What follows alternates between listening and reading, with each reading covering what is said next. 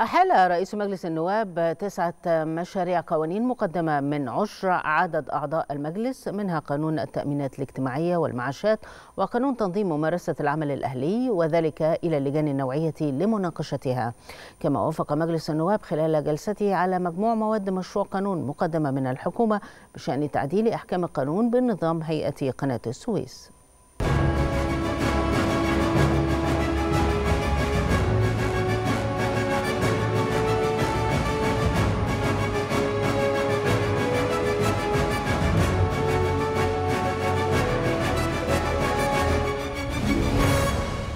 جلسة جديدة وصل خلالها مجلس النواب برئاسة المستشار الدكتور حنفي جبالي مناقشة تقارير اللجان النوعية بشأن عدد من مشاريع القوانين المقدمة من الحكومة. في مستهل الجلسة العامة أحال رئيس مجلس النواب تسعة مشاريع قوانين مقدمة من عشر عدد أعضاء المجلس منها قانون التأمينات الاجتماعية والمعاشات وقانون تنظيم ممارسة العمل الأهلي وذلك إلى اللجان النوعية لمناقشتها وإعداد التقارير عنها لعرضها على المجلس خلال الجلسات المقبلة. وخلال الجلسة أيضا أحال المستشار الدكتور حنفي جبالي 23 تقريرا من لجنة الاقتراحات والشكاوى إلى الحكومة لاتخاذ اللازم بشأن ما ورد بها من توصيات كما وافق مجلس النواب خلال جلسته على مجموع مواد مشروع قانون مقدم من الحكومة بشأن تعديل أحكام القانون بنظام هيئة قناة السويس. شكرا للحكومة على سعيها دايما لفكرة جذب الاستثمارات وتنمية الموارد.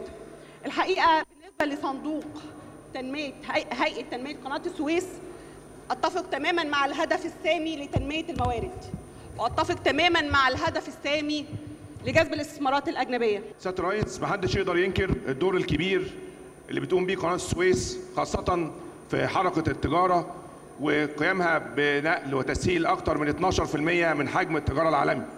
بالإضافة للدور الأهم للاقتصاد المصري بتوفير أكثر من 8 مليار دولار سنويا من العملة الصعبة لصالح الاقتصاد المصري، فكل التحية والتقدير لكافة رجال هيئة قناة السويس من أصغر عامل حتى رئيس هيئه قناه السويس الفريق أسامة ربيع على مجهودهم المبذول في الفترة الماضية. هذا وقرر مجلس النواب تأجيل أخذ الرأي النهائي على مشروع القانون الذي يهدف إلى إنشاء صندوق مملوك لهيئة قناة السويس تسعى من خلاله إلى زيادة قدرتها على المساهمة في التنمية الاقتصادية المستدامة وذلك لجلسة قادمة.